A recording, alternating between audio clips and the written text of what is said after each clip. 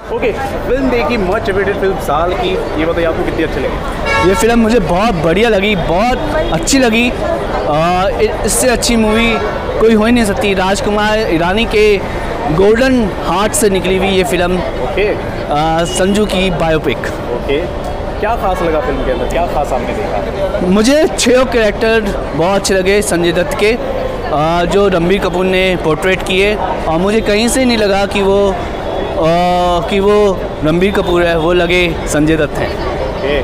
क्या आपने सीखा फ़िल्म के अंदर और कौन सा फ़ेज़ आपको अच्छा लगा संजय दत्त का? मुझे सबसे अच्छा जो फेस लगा मुन्ना भाई का आ, जब पुणे के जेल में थे वो वाला गेटअप बहुत अच्छा लगा।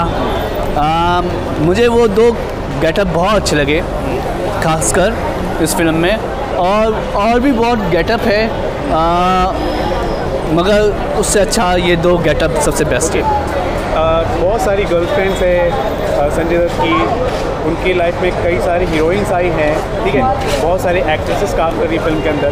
किनका परफॉर्मेंस आपको अच्छा लगा? मुझे करिश्मा तन्ना का परफॉर्मेंस अच्छा लगा अनुष्का शर्मा का परफॉर्मेंस बहुत अच्छा लगा as a writer Kaushal Shyam Kaushal का बेटा विकी कौशल का एक्टिंग बहुत अच्छी लगी। एज ए फ्रेंड मुझे बहुत अच्छा लगा ये फ़िल्म देखते हुए। और मुझे मुझे लगता है श्याम कौशल का जो बेटा है विकी कौशल इस फ़िल्म से वो उनका अच्छ, अच्छे अच्छे रोल मिलने स्टार्ट हो हाँ मिलने वाले। उनका परफॉर्मेंस अच्छा था। हाँ मुझे एक और परफॉर्मेंस बहुत अच्छी लगी। वो है नरगिस जी का जो रोल मनीषा कुराला ने किया। मुझे लगता है कि उनसे इससे अच्छा कमबैक कभी हो ही नहीं सकता। ये फ़िल्म करके उनकी फ़िल्मों में आने की वापसी बिल्कुल अच्छी हो जाएगी। अच्छा परेश रावल सर का कैसा लगा आपको? Paresh Rawal sir actor theatre actor हैं पर संजय दत्त सुनील दत्त का रोल करते हुए वो बहुत अच्छे लगे। मगर वो थिएटर एक्टर है उनकी एक्टिंग तो सबने देखी हुई है। मगर मुश्किल काम ये है कि छः कैरेक्टर को करना एज ए संजय दत्त का रोल वो सबसे डिफ़िकल्ट क्या काम है। क्या आपने सीखा इतनी इतनी सारी स्टोरीज है संजय दत्त की?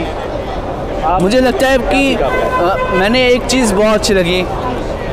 हर बेटे को अपने बाप की बात सुननी चाहिए और और और हमेशा बाप को बेटे के साथ तब तक रहना चाहिए जब तक वो सक्सेस पे ना पहुँच जाए। और जब तक उसको फ्रीडम ना पहुँच जाए।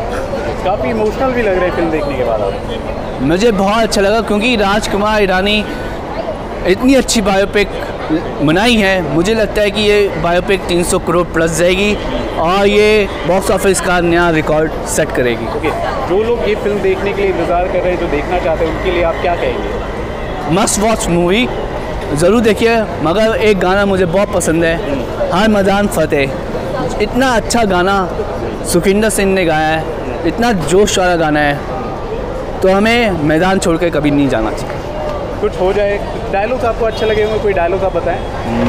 डायलॉग्स मुझे ज़्यादा यादगार वाले डायलॉग नहीं लगे। अच्छा ये बताइए कोई गाना आप गुनगुनाना चाहें बताना चाहें? हर मैदान फतेह हर मैदान फतेह। ज़िंदगी को की जंग जीतनी है हर मैदान फतेह। अब ये बताइए कितने स्टार देंगे पाँचवीं फ़िल्म को? मैं पाँच में से पाँच स्टार दूँगा। और ये बहुत अच्छी फ़िल्म है राजकुमार ईरानी और अभिजात जोशी ने जो स्क्रिप्टिंग की है बहुत अच्छे ढंग से स्क्रिप्टिंग की है। मुझे लगा है कि बहुत सेंसिबल ढंग से स्क्रिप्टिंग किया है। थैंक यू सो मच हमसे बात करने के लिए। Thank you so much the movie was awesome.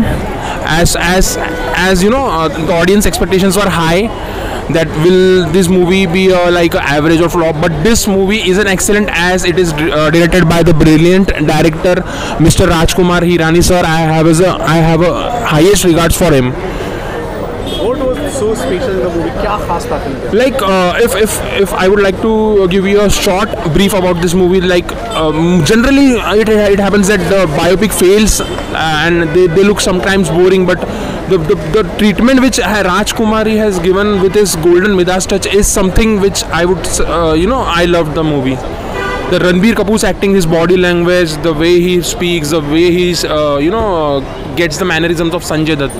What, what did you learn from it? The movie sends out the message to the viewers that you know you have a, uh, downs in your life sometimes you may fail but you should rise above the phoenix like if you ha- if you, you if you are stuck in the failure don't be then don't get upset you should try out the best out of you Is it award-winning performance of Ranbir? Ranbir is absolutely brilliant. His his mannerisms of Sanjay Dutt, the way he speaks, the 90s uh, Sanjay Dutt, especially the rock star days of um, you know uh, the Sanjay Dutt. So he was absolutely brilliant in the movie. Five out of five, Thank you. no doubt.